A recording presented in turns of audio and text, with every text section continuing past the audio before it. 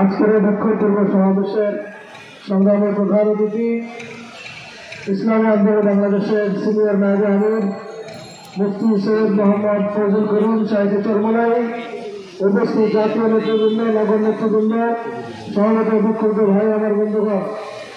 ভাই, আমার, আমাদের প্রধান অতিথি বিস্তারিত আলোচনা করবেন ইনশাআল্লাহ।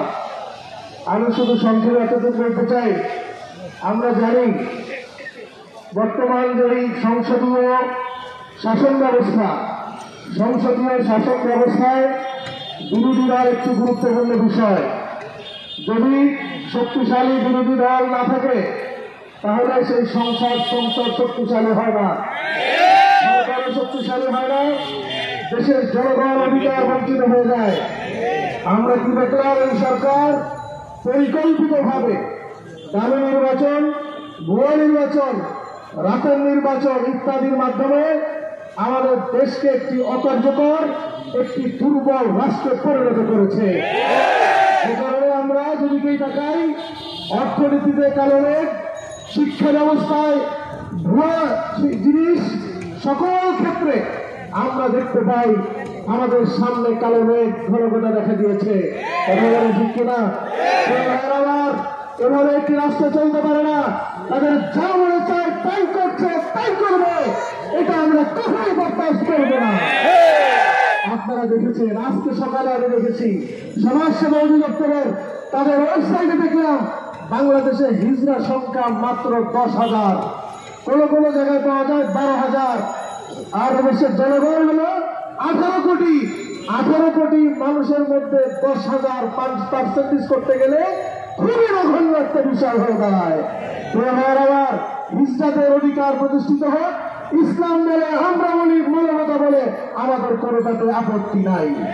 কিন্তু আপনি দশ হাজার শিক্ষার্থী দশ হাজার মানুষের অধিকারের নাম দিয়ে শিরোনাম দিয়া আপনি ভিতরে অন্য কি দিচ্ছেন এটা এদেশের মানুষ টের পেয়ে গেছে।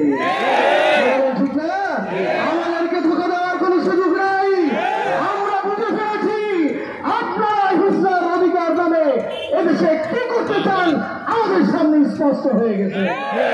আমরা বলতে চাই, বর্তমান কল্যাণ মন্ত্রী আমরা, আমিও অনেক সময় খুঁজে পাই না। এত মন্ত্রী আসে যায়, সবাই আমাদের দুপুমণি মন্ত্রী, উনার কোনো পরিবর্তন হয় না। কারণটা কি? আমি খুঁজে দেখলাম, উনি যখন পররাষ্ট্রমন্ত্রী ছিলেন, তখন বাংলাদেশে উনি এই ট্রান্সজেন্ডার সমকামিতা আমদানি করেছেন। এরপরে উনি গিয়েছেন শিক্ষা মন্ত্রণালয়ে। শিক্ষা মন্ত্রণালয়ে যায়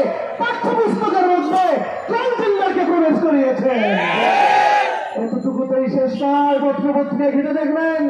এই ট্রান্সজেন্ডারের আইন পাশ করতে হলে সমাজ কল্যাণ মন্ত্রণালয় থেকে করতে হয়। দুর্ভাগ্য জাতির এই কমাল মন্ত্রীকে আবার এখন সেই সমাজ কল্যাণ মন্ত্রণালয়ের দায়িত্ব দেওয়া হয়েছে। সে ষড়যন্ত্র করছে, সে এখন দাঁড়িয়ে এসেছে। বাংলাদেশে এই আইন সে পাশ করবে।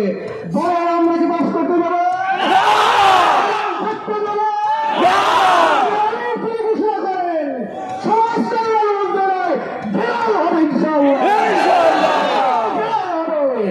মন্ত্রণালয় কাজকর্ম প্রয়োজনে বন্ধ হয়ে যাবে তুমি এই আইন তারা করতে চায়। আমরা আগামী দিনে সকল কর্মসূচিতে, আন্দোলনে আপনারা পাশে থাকবেন এবং দেশের মানুষের অধিকার প্রতিষ্ঠিত হবে। এই আহ্বান জানিয়ে বক্তব্য এখানে শেষ করছি। অনু